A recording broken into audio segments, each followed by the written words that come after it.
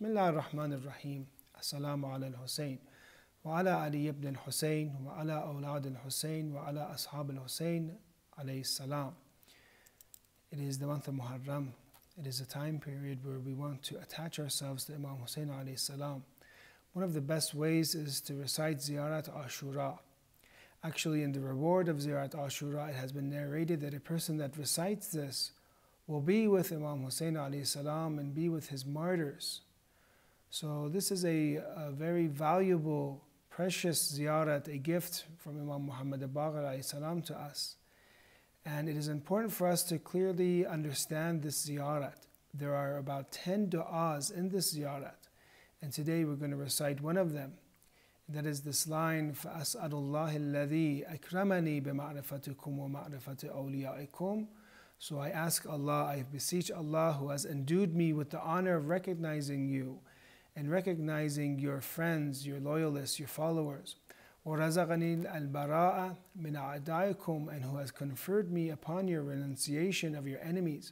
So before we read the dua, we see two things here. That one, Allah has given, honored us with ma'rifat of the Ahlul Bayt and understanding of the Ahlul Bayt.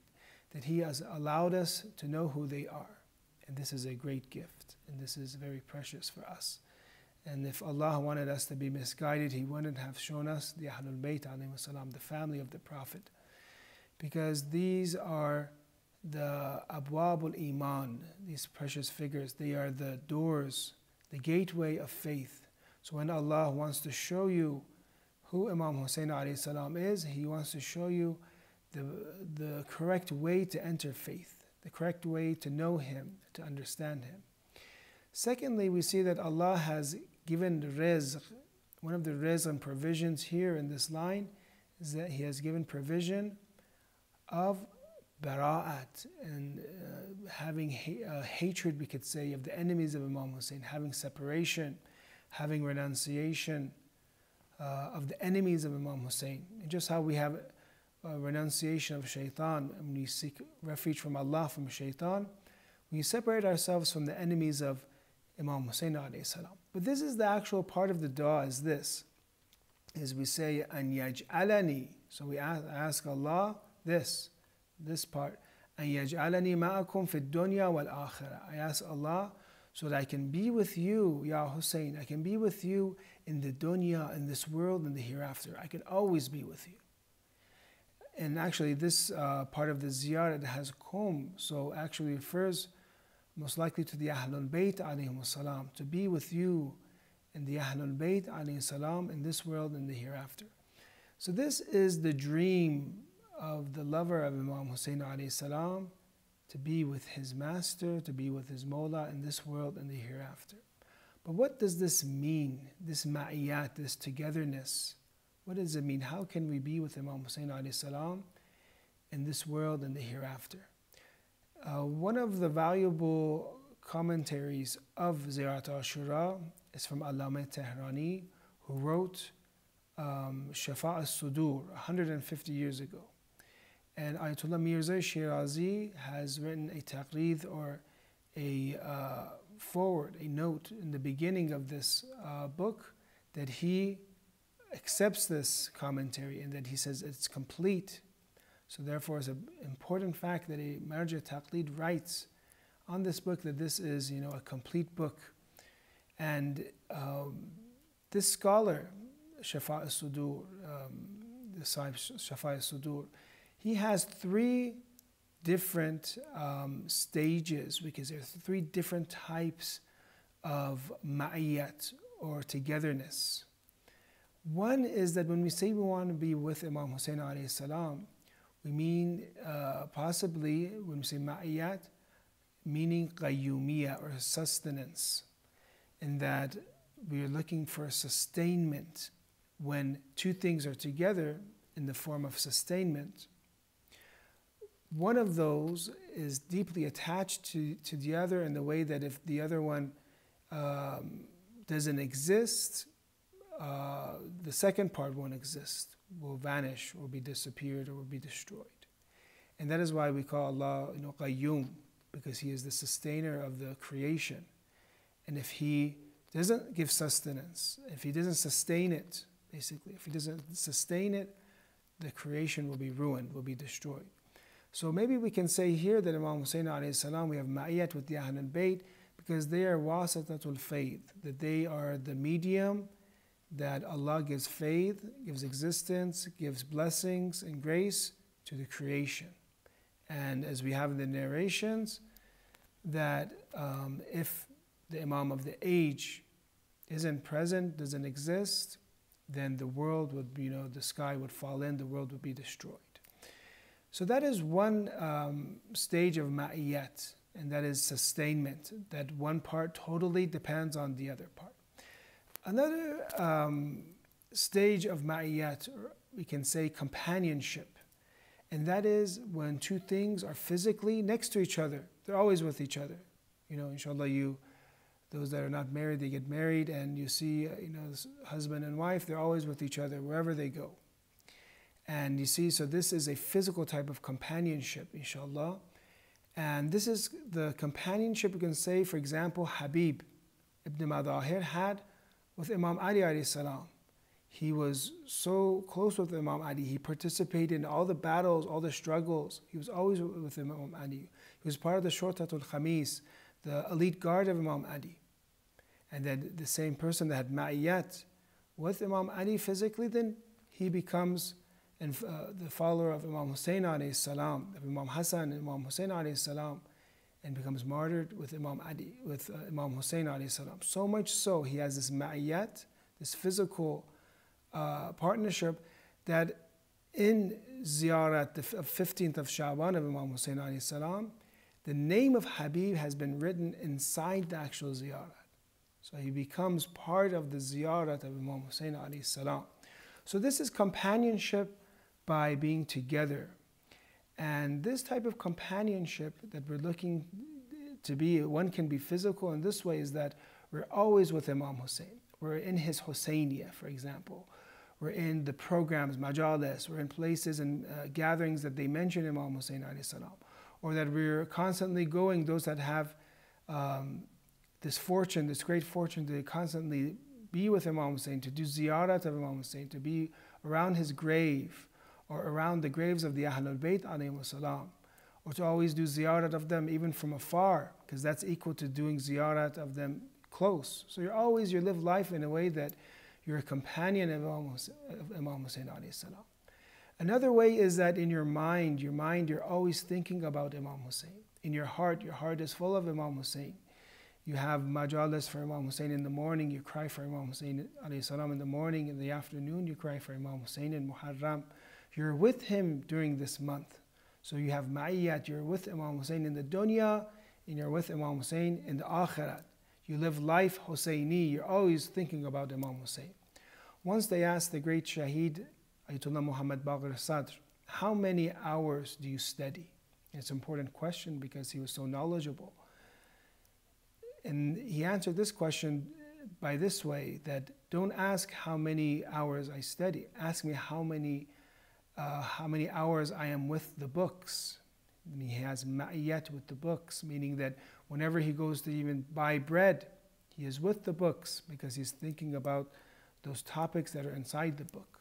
So we can have ma'iyat with Imam Hussein salam that he was constantly thinking about him and that he is in our hearts. We're constantly um, connecting to him. And metaphysically, that spiritually we are connected to the Ahlul Bayt salam with ma'rifat nuraniya, we call this, with understanding through the heart, understanding through light. Look at the verses of the Quran that talk about the heart. The heart is not introduced as an organ that just pumps blood. It is not introduced that way, you know, as the physical heart. It's introduced as, an, as a tool that is able to see things, to witness things. And if it's salim, you know, that we approach God in the day of judgment, qalb salim, with an intact heart. You know, that is our goal to preserve our heart, the heart that can witness things, that can see, the heart that can hear. So with this heart, we can inshallah be with the qalb salim, we can be with inshallah Imam Hussein in the dunya and the hereafter. There's also another type of ma'iyat. So the first was uh, meaning to be sustained, sustainment in ma'iyat. The second is um, musahiba, and that is companionship, to physically, to always be with, with uh, Imam Hussein alayhi salam. And the third is rohaniya, and that means uh, spiritually, and that means that two things they're so identical, they're, always with each other, that they become similar to each other. That they become mushabit, they become similar, their behavior becomes the same. Um, whatever Imam Hussein salam would do, you would do, for example. That happens after intense love, that you love Imam Hussein salam, that slowly you start to become like Him and that all the negative attributes that you have disappear and all those positive attributes that Imam Hussein has his generosity, his compassion, his courage, his spirituality you start to attain. So we ask Allah in this dua to to be with Imam Hussein in this dunya and the hereafter meaning that inshallah we can be with him physically, with his in, in, in the mind and in the soul, and also that we can start becoming like Imam Hussein salam. Today we're going to recite some of the musibat and uh, calamities of one of the great companions of Imam Hussein salam, the 75 year old companion by the name Habib, Habib ibn Madahir. So we see about Habib that he was one of those uh, close companions of Imam Ali. He had memorized the Quran. He had ilm of balaya, of, of the calamities of the future that Imam Ali salam gave him. Him and Maysama Tammar, they say would speak to each other. They spoke to each other and they would say, you know, the events that would happen in the future because they were both informed of, you know, the events of the deaths that would happen. So Habib was a very special person. He was the representative of Muslim ibn Aqil when Muslim came to Kufa. Some did um, allegiance to Habib and some did allegiance to Muslim ibn Awsaja. So after Muslim becomes martyred, Muslim ibn Aqil becomes martyred, him and Muslim ibn Awsaja, they both come and they uh, leave and they come and they join Imam Hussein's camp. And this is around the, the day, the 7th of Muharram. They enter, and this great companion of Imam Hussein alayhi great companion of Imam Ali alayhi this warrior, he enters um, the camps of, camp of Imam Hussein alayhi and there some say that um, the children of Imam Hussein alayhi become very happy to see this courageous person that will defend them. And Imam Hussein salam gave him one of the parts of the army belonged to uh, Zuhair, one of them belonged to Habib, and one of the center part belonged to um, Hazrat Abbas, Hazrat Abbas. So the children become very happy to see Habib, the children, and they send a message from Lady Zainab salawatullah alayha that uh, she sends her salam to Habib. And he is so happy and, and thinks to himself, Who am I? And the, where is the salam of Lady Zainab? And we see that the chastity and the modesty of Lady Zainab, that she sends a, a message through the children of Imam Hussein salam. But that same Lady Zainab, salawatullah alayha, as Allama Mamaqani says, that no one saw, you know, shakhs, the, the, the form of Lady Zainab until Yawm Taf, until the day of Taf, the day of Karbala. So Habib is it is now the day of Ashura. It is the day that Habib is going to fulfill his promise to Imam Hussein. He's going to show his loyalty. Habib had another quality, and that is he would propagate. He comes to the army of uh, Umar, Umar ibn Sa'd and tells them, tells them this that you know these narrations about Imam Hassan and Imam Hussein being the chief of the youth of paradise. There, Shimr tries to cut off uh, Habib, but Habib tells him, I swear to God, I see in you uh, the worship that you have. I see you worship him, God, with 70 doubts. So he was a propagator of the hadith, and he would tell people in, in, in, the battle of the army of Omar ibn Sa'd that some of you have witnessed the Prophet of Islam saying that You know, Imam Hussein and Imam Hassan are the chief of the youth of paradise. So when the war begins and it is prayer time, and after that, Habib uh, begins, you know, the, the, the, very, very strong battles that he had. He recites the poetry that he had. And they say that he kills 62 pe- people in Karbala. And then they begin, and uh, a person by the name of Budayl comes and, and strikes Habib ibn Madahir, this great companion of Imam Hussein. He strikes him on the head and he falls off his horse. There, another person comes with a spear and causes um, and hits uh, Habib ibn Madahir. So the great companion of Imam Ali, the great companion of Imam Hussein are martyred. Now Imam Hussein rushes, they say in the Maqtal, and says that I expect from God the reward of myself and my supportive companions. And others say, he says, Oh Habib, you were the virtuous person who recited the whole Quran in one night.